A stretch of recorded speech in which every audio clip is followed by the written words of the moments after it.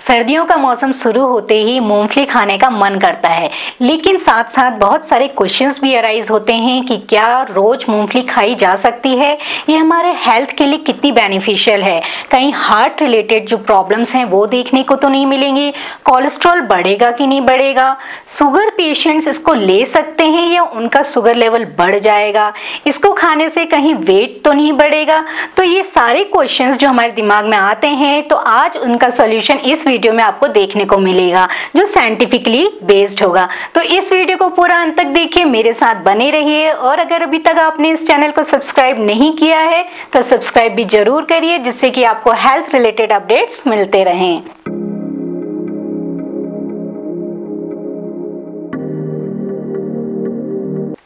नमस्कार, मैं doctor Himani Pandey, Ayurvedic consultant. स्वागत करती हूँ आपके अपने यूट्यूब चैनल हिमान आयुर्वेदा में।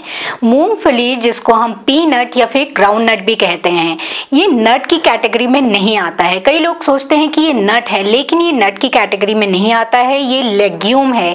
ये एक एडिबल सीड ऑफ़ लेग्यूम माना गया है। इसकी न्यूट्रिशनल वैल्यू अगर हम देखें तो 100 ग्राम का अगर आप मूंगफली लेते हैं तो उसमें एनर्जी लेवल आपको बहुत अच्छे अमाउंट में मिलेगी। इसका जो एनर्जी लेवल है वो 567 किलो कैलोरी देखा गया है। प्रोटीन वैल्यू भी इसमें बहुत अच्छे अमाउंट में होती है 25 ग्राम है। कार्बोहाइड्रेट 16 ग्राम है, जो इसमें फाइबर है, वो 8 ग्राम है। इसमें हार्ट हेल्दी फैट पाया जाता है, जो हार्ट के लिए अच्छा होता है, जैसे कि mono unsaturated fatty acid poly unsaturated fatty acid इसमें विटामिन और मिनरल्स भी बहुत अच्छे अमाउंट में पाए जाते हैं, जैसे कि विटामिन बी जिसको हम नाइसिन कहते हैं हैं biotin selenium zinc manganese magnesium phosphorus vitamin E जैसे इसमें विटामिन और मिनरल्स पाए जाते हैं। इसमें साथ साथ बायो एक्टिव कंपाउंड भी बहुत अच्छे अमाउंट में पाए जाते हैं, जैसे कि रेसवेराट्रॉल हो गया, या फिर आपके आइसोफ्लेवंस हो गए फाइटोस्टिरॉल्स हो गए, जो एंटीऑक्सीडेंट्स का भी बहुत अच्छा सोर्स है। तो ये एक फुल पैकेज है विटामिन मिनरल्स और बहुत अच्छे कंपाउंड्स का, जो हमारे हेल्थ के लिए बहुत इंपॉर्टेंट हैं।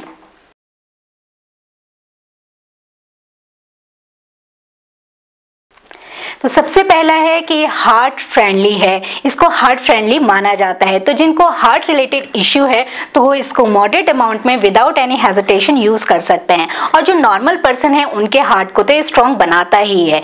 रिसर्च ये बताते हैं कि इसमें कुछ ऐसे कंपाउंड्स पाए जाते हैं, जैसे कि रेसवेराट्रॉल जो हमारे हार्ट को हेल्दी बनाने में बहुत इंपॉर्टेंट रोल प्ले करता है। साथ साथ इसमें विटामिन और मिनरल्स का भी फुल पैकेज है, जो हमारे हार्ट के लिए बहुत हेल्दी होता है। हमारे हार्ट की फंक्शनिंग के लिए बहुत इंपॉर्टेंट है। कुछ स्टडीज़ में ये भी देखा गया है कि जो बैड कोलेस्ट्रॉल है, वो 11 परसेंट तक कम हुआ है इसके रेगुलर यूज़ से। और जो गुड कोलेस्ट्रॉल है, वो तो मेंटेन रहा ही है ट्राइग्लिसराइड भी नहीं बढ़ा है। तो जो हार्ट रिलेटेड जो पेशेंट्स होते हैं, वो इसका मॉडरेट अमाउंट में यूज़ कर सकते हैं। ये हार्ट डिजीजेस के रिस्क को कम करता है। दूसरा क्वेश्चन ये अराइज होता है कि जो डायबिटिक पेशेंट होते हैं, उनके लिए मूंगफली खाना कितना फ़ायदेमंद है? रिसर्च बताते हैं कि जैसे कि इसमें कार्बोहाइड्रेट 16 ग्राम का पाया जाता है कि अगर हम 100 ग्राम अगर मूंगफली लेते हैं तो इसमें 16 ग्राम आपको कार्बोहाइड्रेट मिलता है। तो हमें ये भी पता है कि जहाँ कार्बोहाइड्रेट होता है, वो शुगर लेवल को बढ़ाता है। कार्बोहाइड्रेट रिच डाइट हम लेते हैं तो शुगर लेवल बढ़ता है। लेकिन इसका जो ग्लाइसेमिक इंडेक्स है, वो फोर्टीन है और जो ग्लाइसेमिक लोड है, वो वन है। तो ये शुगर को नहीं बढ़ाएगा तो जो शुगर पेशेंट्स हैं वो ले सकते हैं, क्योंकि इसमें कार्बोहाइड्रेट अगर 16 ग्राम है तो उसके साथ साथ प्रोटीन का भी ये बहुत अच्छा सोर्स है। इसमें गुड फैट भी पाया जाता है और फाइबर भी अच्छे अमाउंट में पाया जाता है। तो जो इसका ग्लाइसेमिक इंडेक्स है और जो ग्लाइसेमिक लोड है, वो भी कम है। तो ये जो शुगर पेशेंट्स है, उनके लिए सुपर फ़ूड है। तो जो अमेरिकन डायबिटीज़ एसोसिएशन है, उसने इसको डायबिटिक सुपरफूड माना है। इसलिए जो डायबिटिक पेशेंट हैं, वो इसका मॉडरेट अमाउंट में यूज़ कर सकते हैं, उससे उनका शुगर लेवल नहीं बढ़ेगा। फिर एक क्वेश्चन ये भी अराइज होता है कि मूंगफली खाने से रोज कहीं मोटापा तो नहीं बढ़ेगा? जी हाँ क्योंकि इसमें कैलोरीज बहुत ज़्यादा होती हैं तो इसलिए इसको मॉडरेट अमाउंट में ही यूज़ करें। आप इसको रोज़ाना 100 ग्राम की मात्रा में यूज़ करें, उससे ज़्यादा मत करें, क्योंकि इसमें कैलोरीज बहुत अच्छी अमाउंट में पाई जाती हैं तो इससे आपका मोटापा बढ़ सकता है। आप जानते हैं कि सर्दियों में मूंगफली खाना हमारे लिए बेहद ज़रूरी क्यों हो जाता है? देखिए, सर्दियों में सबसे पहला ये है कि हमारी स्किन ड्राई हो जाती है, डल हो जाती है। तो इसमें बायोटिन बहुत अच्छे अमाउंट में पाया जाता है, जो हमारे स्किन को ग्लोई बनाता है रेडियंट बनाता है और डलनेस को कम करता है कि जिससे कि हमारी जो स्किन है वो हेल्दी रहती है।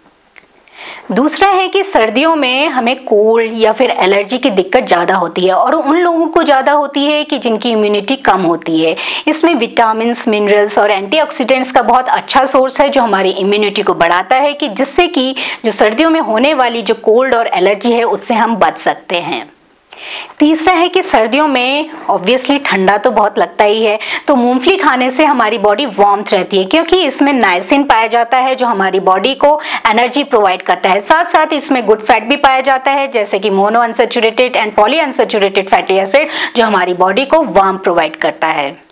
साथ साथ विंटर में ये भी देखा जाता है सर्दियों में कि हमारा जो मूड है वो थोड़ा सा डिप्रेस्ड रहता है, क्योंकि हम इंडोर ज़्यादा रहते हैं इनएक्टिव रहते हैं, उसकी वजह से हमें अवसाद की सिचुएशन ज़्यादा देखने को मिलती है। तो पीनट में ट्रिप्टोफेन अम्यूनो एसिड अच्छी क्वांटिटी में पाया जाता है तो अगर हम पीनट का सेवन करेंगे, मूंगफली का सेवन करेंगे तो हमारी बॉडी इस ट्रिप्टोफेन अमीनो एसिड को सेरेटोनिन में कंप्लीट करेगा, जो एक फील गुड हार्मोन कहा जाता है, कि जिससे कि हमें अच्छी जो फीलिंग है वो आती रहेगी। सर्दियों में अक्सर हड्डियों में, जोड़ों में दर्द की सिचुएशन देखी जाती है। कंप्लेन आती है कि हड्डियों में दर्द हो रहा है और जोड़ों में दर्द हो रहा है तो इसको बोन फ्रेंडली कहा गया है, क्योंकि इसमें विटामिन और मिनरल्स बहुत अच्छे अमाउंट में पाए जाते हैं, जो हमारे यहाँ बोन के लिए बहुत इंपॉर्टेंट हैं, जैसे कि calcium manganese zinc sodium potassium ये हमारे बोन्स के लिए बहुत इंपॉर्टेंट होते हैं, जो हमारे बोन्स को हेल्दी और स्ट्रॉन्ग बनाते हैं। सर्दियों में डाइजेस्टिव इश्यूज़ भी ज़्यादा देखने को मिलते हैं, लेकिन जो पीनट है, उसमें कुछ ऐसे कंपोनेंट्स पाए जाते हैं जो हाईली डाइजेस्टेबल होते हैं इजीली डाइजेस्ट हो जाते हैं। इसमें मोनो अनसेचुरेटेड फैट पाया जाता है, जो सिंगल अनसेचुरेटेड हाइड्रोजन बॉन्ड है, जो इजीली ब्रेक डाउन हो जाता है। उसको डाइजेशन के लिए ज़्यादा मेहनत करने की ज़रूरत नहीं होती है। तो ये डाइजेस्टिव इश्यूज़ में भी जिनको डाइजेस्टिव प्रॉब्लम्स है, उनके लिए भी फ्रेंडली है, वो भी इसका आराम से यूज़ कर सकते हैं। तो मूंगफली को लेके बहुत सारे क्वेश्चंस थे जो आज मैंने क्लियर करने की कोशिश की है। मूंगफली हमारे लिए फ्रेंडली है हेल्थ के लिए बहुत अच्छा है, आप इसको ज़रूर यूज़ करिए। तो अगर आपको ये वीडियो पसंद आया है तो प्लीज़ लाइक शेयर सब्सक्राइब ज़रूर करिए। और अगर आप इस चैनल में नए हैं तो सब्सक्राइब भी ज़रूर करिए, जिससे कि आपको हेल्थ रिलेटेड अपडेट्स मिलते रहें। नमस्कार।